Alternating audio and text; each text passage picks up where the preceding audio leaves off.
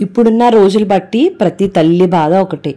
పిల్లలు శుభ్రంగా తినాలి తిన్నది ఆరోగ్యంగా ఉండాలి టేస్టీగా ఉండాలి. అలాంటి ఆలోచనలోదే ఈ రెసిపీ. క్యాప్సికమ్ రైస్ అండి చాలా టేస్టీగా ఉంటుంది. అండ్ మనకి చేయడానికి కూడా చాలా ఈజీగా ఉంటుంది. పిల్లలైతే బాక్స్ తప్పకుండా ఖాళీ చేసేస్తారు. నమస్తే అండి. నా పేరు Lavanya.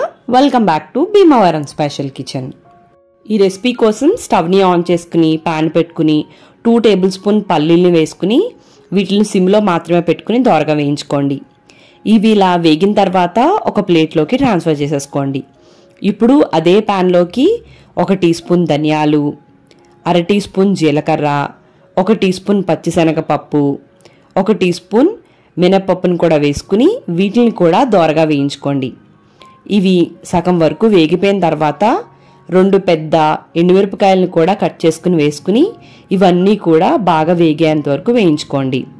ఇప్పుడు అన్నీ ఇలా వేగిపోయిన తర్వాత స్టవ్ని ఆఫ్ చేసేసుకుని ఒక టీ స్పూన్ నువ్వులు వేసుకోండి. ఇవి ఆ పాన్ వేడికి వేగిపోతాయండి. వీటిని స్పెషల్గా స్టవ్ని ఆన్ చేసుకుని అయితే వేయించుకోవాల్సిన అవసరం లేదు.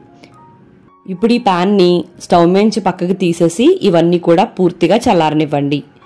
ఇప్పుడు ఇవన్నీ పూర్తిగా చల్లారిన తర్వాత వీటిల్లోకి ఒక రెండు వెల్లుల్లిపాయలు అలానే మనం ముందుగా వేయించి పెట్టుకున్న పల్లీలు వేసుకుని మిక్సీని పల్స్లో మాత్రమే పెట్టుకుని వేయించుకోండి. పొడిలా వస్తుంది అప్పుడు. ఈ ప్రాసెస్ కావాలంటే ముందు రోజు చేసుకుని రెడీగా పెట్టుకోవచ్చు. ఆ తర్వాత స్టవ్ని ఆన్ చేసుకుని ఒక కడాయిని పెట్టుకుని ఒక టీ స్పూన్ ఆయిల్ రెండు టీ స్పూన్ల నెయ్యిని వేసుకుని అర టీ స్పూన్ జీలకర్ర. కావాలి అనుకుంటే కొన్ని జీడిపప్పులు వేసుకోండి. అప్పుడు పిల్లలకి ఇంకా ఇంట్రెస్టింగ్గా ఉంటుంది. వీటిని ఇప్పుడు దొరగా అయ్యేంత వరకు కూడా ఫ్రై చేసుకోండి. నెయ్యి వేసుకోవడం అనేది పూర్తిగా ఆప్షనల్ అండి. కావాలంటే పూర్తిగా ఆయిల్తో కూడా చేసుకోవచ్చు. ఇవి ఇలా లైట్గా దోరగా అయిన తర్వాత దీంట్లోకి ఒక రెండు పచ్చిమిరపకాయలు రెండు మూడు రెమ్మల కరివేపాకు వేసుకుని ఒక ముప్పై సెకండ్ల పాటు వేయించుకోండి. ఆ తర్వాత ఒక పెద్ద ఆనియన్ని ఇలా సన్నని ముక్కల్లా కట్ చేసుకుని వేసుకుని వీటిని కూడా దోరగా ట్రాన్స్పరెంట్గా అయ్యేంత వరకు వేయించుకుంటే సరిపోతుంది. బాగా వేగవలసిన అవసరం లేదు.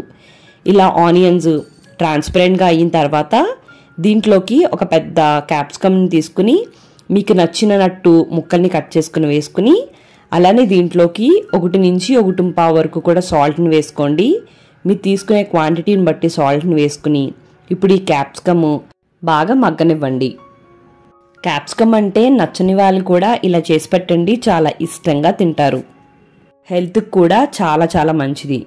ఇప్పుడు ఈ క్యాప్సికమ్ ఇలా లైట్ కలర్ మారి బాగా వేగుతుందండి. ఇంకా సింపుల్గా చెప్పాలి అనుకుంటే మనం గరిటెతో బ్రేక్ చేస్తే చాలా ఈజీగా బ్రేక్ అవుతుంది అనమాట సో ఇలా క్యాప్సికమ్ని వేయించుకున్న తర్వాత మనం ముందుగా గ్రైండ్ చేసి పెట్టుకున్న పొడి ఉంది కదండి. దాన్ని ఇలా కచ్చాబచ్చాగా గ్రైండ్ చేసుకుంటే సరిపోతుంది. మరి మెత్తగా అవసరం లేదు. ఇప్పుడు ఇదంతా కూడా మనం క్యాప్సికంలోకి ట్రాన్స్ఫర్ చేసేసుకుని మొత్తం అంతా కలిసేలాగా బాగా కలిపేసుకుని ఒక ముప్పై సెకండ్ల పాటు అలా వదిలేస్తే ఫ్లేవర్స్ అన్నీ కూడా బాగా పడతాయి అన్నమాట క్యాప్సికమ్కి. మరి ఎక్కువసేపు ఉంచేసినా మాడిపోతాయనే విషయం మర్చిపోకండి. ఇలా వేయించుకున్న తర్వాత కుక్ చేసి పెట్టుకున్న ఒక కప్ రైస్ని కూడా వేసేసుకుని ఇప్పుడు ఈ క్యాప్సికమ్ మసాలాలు రైసు అంతా కలిసేలాగా బాగా కలిపేసుకోండి. దీంట్లోకి అల్లం వెల్లుల్లి పేస్ట్ కానీ గరం మసాలాలు కానీ అటువంటి ఏమీ అవసరం లేదండి. ఇలా చేస్తే చాలా కమ్మగా ఉంటుంది. ఇలా కలిపేసుకున్న తర్వాత కొద్దిగా కొత్తిమీరను కూడా వేసుకుని మరొకసారి కలిపేసుకోండి. కలిపేసుకున్న తర్వాత వెంటనే స్టవ్ని ఆఫ్ చేసేసుకుని మూత పెట్టుకుని ఒక ఐదు పది నిమిషాల పాటు పక్కకు పెడితే టేస్ట్ రైస్కి బాగా పడుతుందన్నమాట. ఆ తర్వాత మీరు బాక్సులు పెట్టుకుని పిల్లలకు పెడితే సాయంత్రం వచ్చేసరికి బాక్సులు కంప్లీట్గా ఖాళీ వస్తాయి. మరి మీకు ఈ వీడియో నచ్చినట్టయితే like comment share and subscribe to Bhimavaram special kitchen. Thank you అండి. మరి మళ్ళీ వీడియోలోకి వెళ్తాం